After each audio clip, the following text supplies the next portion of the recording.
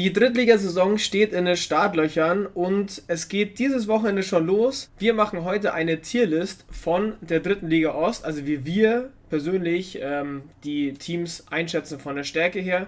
Falls ihr noch nicht kennt, über mir im Bild mein Bruder, der Luis, Libero beim SV Schweig in der dritten Liga.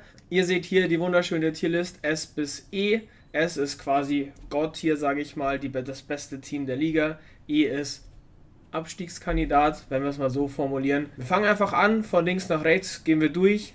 Eibelstadt. Ich würde sie einfach mal in Tier, ins B-Tier setzen. Ganz einfach aus dem Grund, Eibelstadt, wenn ich die Mannschaftsliste mir in, im Portal anschaue, ist ungefähr gleich geblieben wie letzte Saison. Spielervorstellung ähm, auf Instagram habe ich nur so halb mitverfolgt, aber da sind anscheinend ziemlich viele neue Spieler. Das heißt, ich kann Eigelstadt nicht so wirklich einschätzen. Aber die Spieler, die schon die letzten Jahre auch immer in der dritten Liga mitspielen, sind halt einfach echt gut.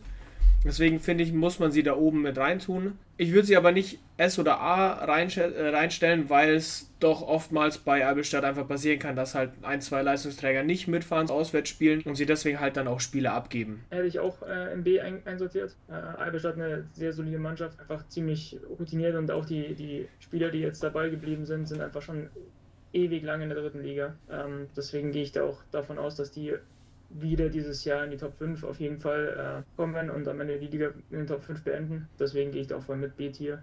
Aber auch viel höher nicht, weil sie auch auswärts nicht immer alle mit dabei haben. Donau-Volleys. Ich packe sie einfach mal in C-Tier jetzt am Anfang. Wir können da gerne noch drüber diskutieren. Ich weiß nicht, ob du da eine andere Meinung hast. Sie waren am Ende relativ lang eigentlich mit im Abstiegskampf. Aber man muss auch dazu sagen, letzte Saison der Abstiegskampf war halt keine Ahnung wie viele Teams. Ähm, aber ich finde, sie sind eigentlich auch ein echt gutes Team. Die, die ganzen Deggendorfer, die früher, in, also wo es noch Deggendorf hieß, in Deggendorf dritte Liga gespielt haben oder viele davon spielen halt jetzt in Regensburg. Deswegen ähm, finde ich ein gutes Team. Aber ich finde sie tendenziell ähm, einfach von der Leistungsspitze her unter Eibelstadt. Erstmal deswegen im Tier 1 drunter. Ja, gehe ich ungefähr mit. Ich würde sie vielleicht sogar noch eins weiter runtersetzen. An sich haben sie schon sehr gute Spieler mit dabei, aber sie haben auch einige Abgänge ähm, zu verzeichnen, ähm, die ihnen schon auch wehtun könnten. Zumal zwei Mittelblocker zum Beispiel gegangen sind, ein Außenangreifer mindestens. Und ich weiß aber nicht, was, was so sonst noch mit Neues dazugekommen ist. Deswegen kann ich es da schlecht sagen. Aber ich glaube, dass ihnen vor allem der Außenangreifer und einer von den Mittelblockern schon schon wehtun könnte, wenn sie da nicht einen adäquaten Ersatz bekommen haben. Okay, dann behalten wir uns das mal im Kopf. Ähm, wir werden versuchen dann auch noch innerhalb von den jeweiligen Tiers dann zu sortieren, also von links nach rechts nach Stärke. Äh, behalten wir es mal im Kopf, äh, ob wir hier auf ähm, C oder D einstufen. Nochmal, das ist einfach nur unsere Einschätzung. Also wir wissen natürlich nicht, wie ähm, wie der Kader wirklich von den Teams ausschaut. Wir haben jetzt, ich habe bisher nur gegen Grafing ein Testspiel gemacht. Ihr habt jetzt gegen VCO und Oelsnitz, soweit ich weiß, Testspiel gemacht, richtig? Und Magderitz auch. Genau. Ähm, das heißt, die vier Mannschaften kennen wir grob, aber Testspiele sind auch immer so eine Sache. Ja, ähm, waren auch nicht alle dabei. Genau, deswegen, das ist jetzt alles nur eine grobe Einschätzung und unbedingt, wenn ihr wisst, ihr seid besser oder ihr seid schlechter, also wenn ihr von jetzt an, von einem Team kommt zum Beispiel, oder ihr habt schon gegen eins gespielt oder ihr denkt einfach, das ist völlig falsch, was wir da sagen, dann lasst uns doch bitte in den Kommentaren wissen.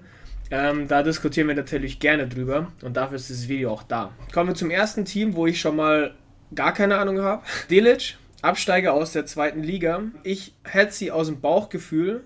Du hast letzte Saison, glaube ich, gegen sie gespielt in der zweiten Liga, oder? Vorletzte Saison, ja. Vorletzte Saison, achso, okay, dann ist das ja. schon ein bisschen her. In der zweiten Liga waren sie gut, wenn sie so geblieben sind. Ähm, naja, offensichtlich waren sie ja nicht so gut, weil sie abgestiegen sind. Ja, ja für beide Liga waren sie dann anscheinend nicht gut genug, mhm. aber für uns in der dritten Liga sind sie auf jeden Fall dann sehr weit vorne mit dabei, wenn sie so bleiben. Wo würdest du sie einranken? Ähm, ich würde sie in A einranken, ähm, weil ich nicht davon ausgehe, dass, wenn, wenn du aus der zweiten Liga absteigst, dass dann alle da bleiben. Und das wird ja auch einen Grund haben, dass sie zwei Jahre in Folge, also ein Jahr davor, gegen den Abstieg gespielt haben und das gerade noch geschafft haben und jetzt dann abgestiegen sind. Und deswegen wird das schon einen Grund haben. Aber sie werden, denke ich, auf jeden Fall trotzdem äh, in der oberen Tabellhälfte mit dabei sein. Und ich denke, dass sie auch in den Top 5 mit dabei sind. Eine Frage, wie war die Halle, die Stimmung in der Halle und die Fans dort? Ist, ja, haben die einen Heimvorteil? Ist, äh, auch noch eins, eine, eine Stärke von ihnen ist, ist die Heimstärke von ihnen. Okay. Ja. Ähm, weil sie einfach auch ähnlich wie Oelsnitz ähm, einen Fanblock haben, der wirklich immer gut besetzt ist. Die Halle ist schwer zu bespielen, weil sie sehr flach ist und äh, so ein Sie haben ihn letztes Jahr Schuhkarton genannt. Dachau 2.0 ist einfach schwierig drin zu spielen und ist auch sehr laut drin. Ähm, also ich hätte sie auch Bauchgefühl her in, in A-Tier gesetzt. Ähm, ganz einfach, also man weiß natürlich nie, wenn, wenn die absteigen, äh, wie viel bleiben, wie viel gehen.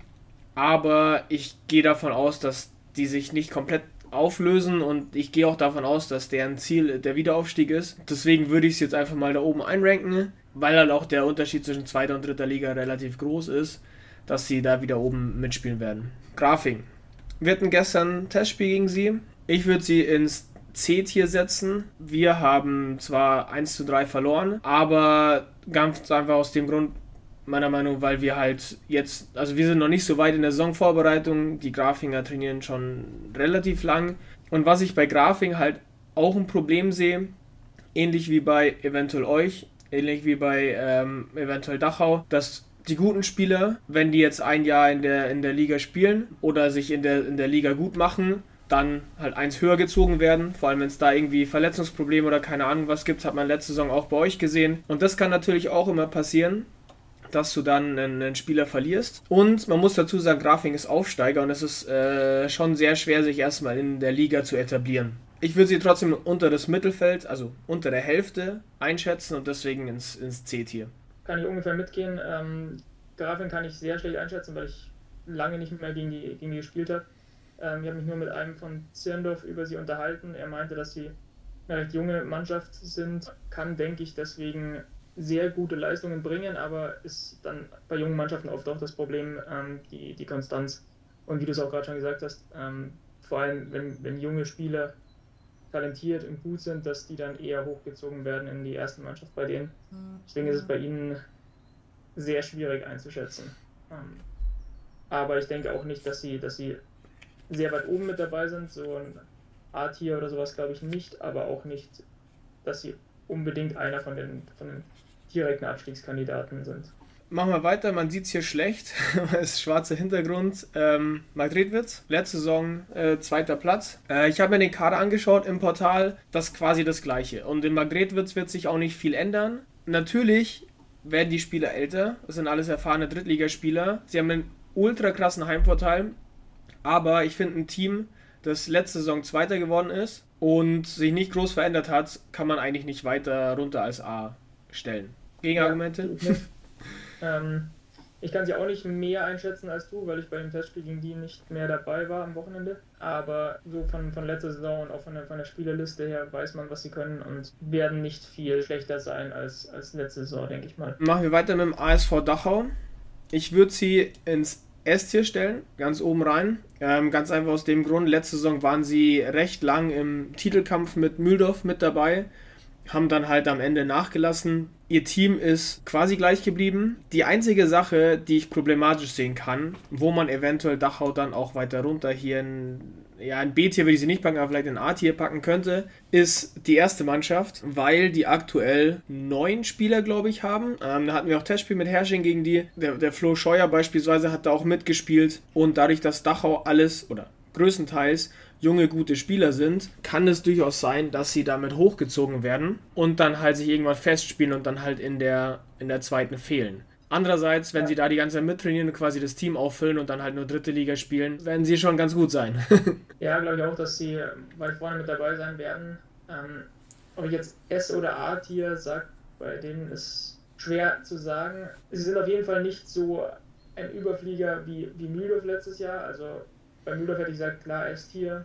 Ähm, bei Dachau würde ich sagen, dass da der Abstand bei weitem nicht so groß ist wie bei Mühldorf letztes Jahr zur, zur östlichen Liga. Mhm. Und wie du auch gesagt hast, ist schwierig einzuschätzen, wer hochgezogen wird. Ich habe gehört vom, vom Diagonalangreifer, dass der öfter mal da bei der ersten mit dabei war und wenn der wegfallen würde, ähm, wäre das schon ein harter Schlag für Dachau. Ja.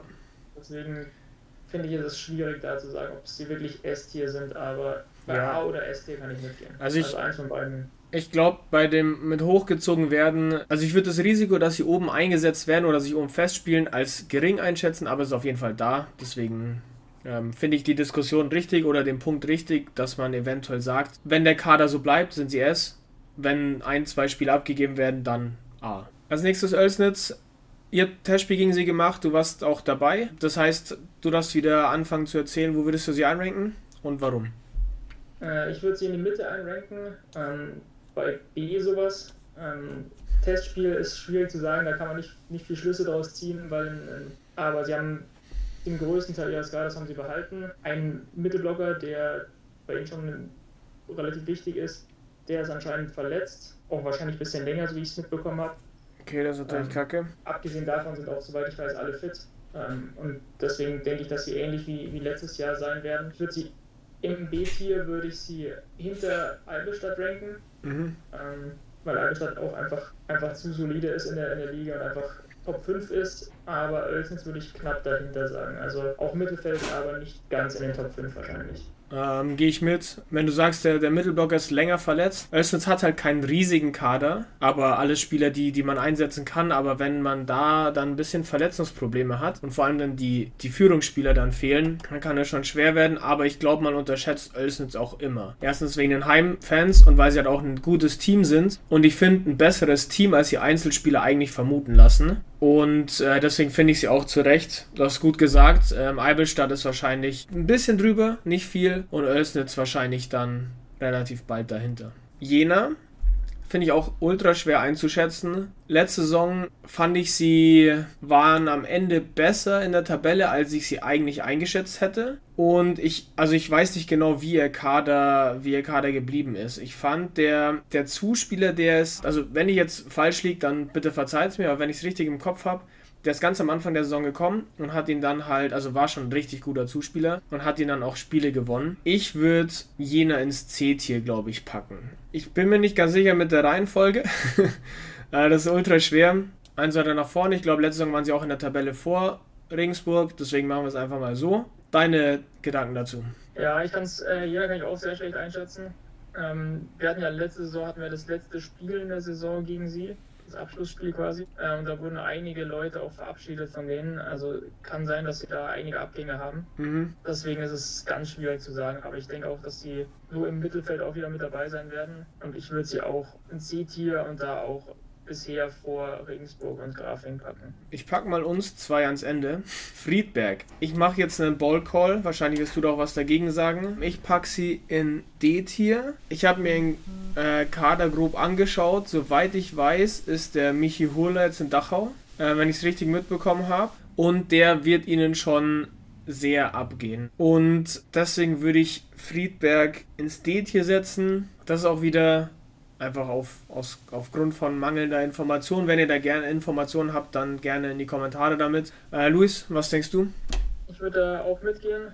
Ähm, ich habe auch nicht viele Informationen zu Friedberg, aber das mit dem Michael habe ich auch so mitbekommen. Also, also meine Infos die gleichen. Ja, ich würde die auch in die Tier packen, ähm, weil es immer schwierig ist, wenn du einen erfahrenen Zuspieler verlierst. Mein Felix Gärtner macht es echt gut, aber ist noch nicht so erfahren wie, wie Michi Hurler. Und es ist immer schwierig, wenn man dann da einen neuen Zuspieler oder einen nicht so erfahrenen Zuspieler in die Saison geht. Deswegen würde ich die auch in die, die, in die Tier packen. Aber ich lasse mich da gerne auch vom, vom Gegenteil überzeugen. Schreibt es gerne in die Kommentare, wenn ihr da irgendwie andere Informationen habt oder wenn ihr da meint, dass Friedberg viel weiter oben sein sollte. Machen wir weiter.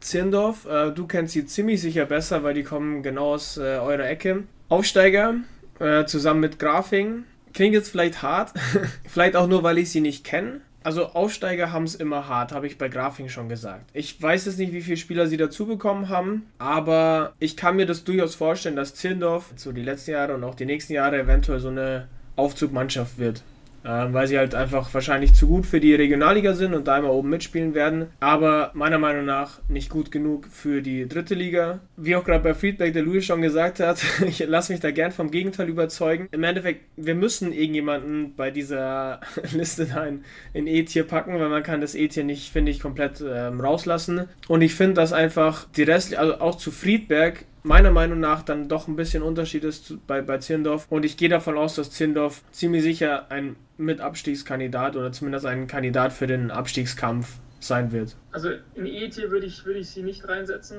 Ich schwanke zwischen D und C-Tier. Ich finde, als Aufsteiger ist es, ist es natürlich immer schwierig, aber E-Tier würde ich sagen, ist es, würde ich sie reinsetzen, wenn sie, wenn ich sagen würde, das sind ziemlich sichere Abstiegskandidaten. Das sehe ich auf jeden Fall nicht so. Ich glaube, sie werden nicht ziemlich früh die Klasse halten können. Also werden sie auch, denke ich, mit in den Abstiegskampf der anderen Mannschaften gehen. Ähm, aber ich sehe da jetzt nicht, dass sie irgendwie schlechtere Chancen als, als die meisten anderen haben oder bessere Chancen. Würde ich sagen, ist alles offen bei denen. Macht Sinn.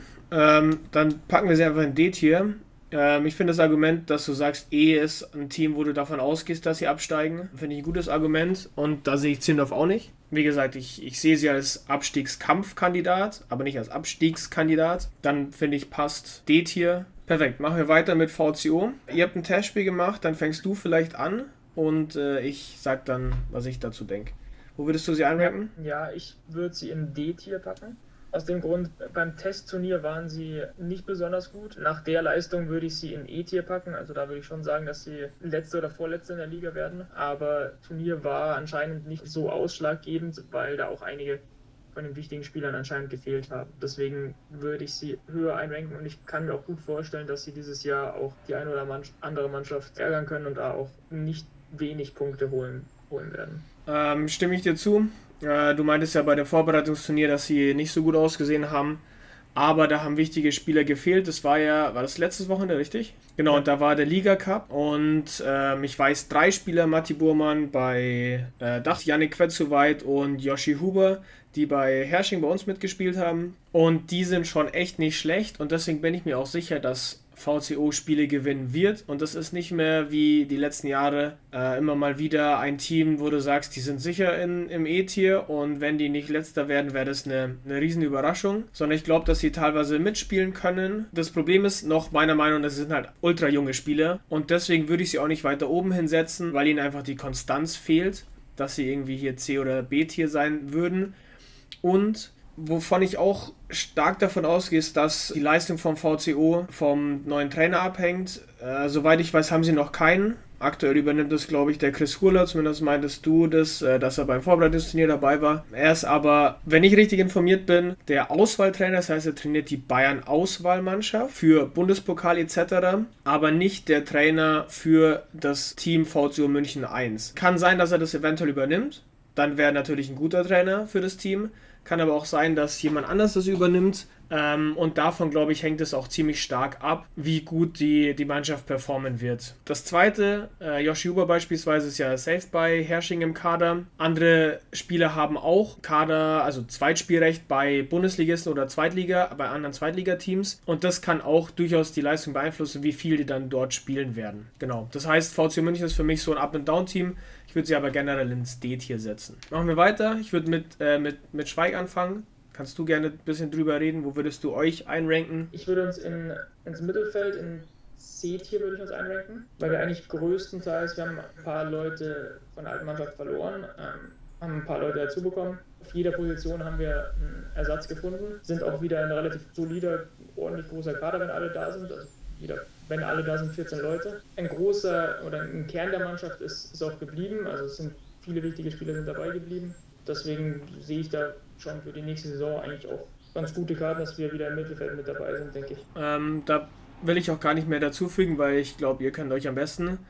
Äh, noch ganz kurz, wo würdest du dich im C-Tier einranken?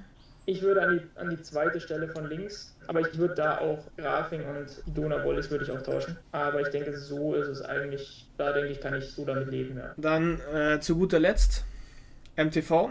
Ich würde uns in B-Tier ranken. Also von den Einzelspielern auf jeden Fall. Vom Teamgefüge her und so weiter. Das Einzige, was bei uns noch eine Problematik ist, sind Verletzungen, weil wir zwar jetzt viele Spieler wieder da haben, die aber lang verletzt waren und noch nicht bei 100% sind. Deswegen sehe ich uns als Team, das am Anfang wahrscheinlich eher C-Tier mitspielt, am Ende der Saison dann nach oben angreift, ähm, weil an, an sich haben wir einen echt guten Kader und deswegen sehe ich uns am Anfang, wie gesagt, wahrscheinlich eher hier unten mit dabei. Am Ende tendenziell hier oben, deswegen würde ich uns ins B-Tier setzen.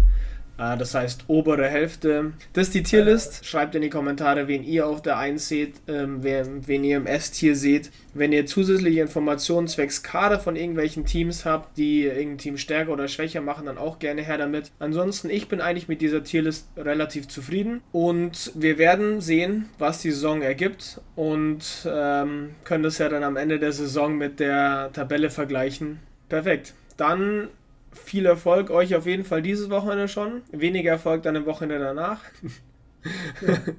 ich freue mich auf jeden Fall richtig auf die, auf die Drittligasaison. Es wird wieder viel Content geben. Ich freue mich auch schon richtig auf das Spiel gegen euch, auf beide Spiele, aber jetzt erstmal das, das erste Spiel, weil das halt in einer Woche schon ansteht. Dann, ich bedanke mich auf jeden Fall bei jedem fürs Zuschauen, für alle, die bis jetzt noch dran geblieben sind. Danke dir, Luis, äh, fürs fleißig mitdiskutieren und wir sehen uns beim nächsten Video. Bis dann, ciao.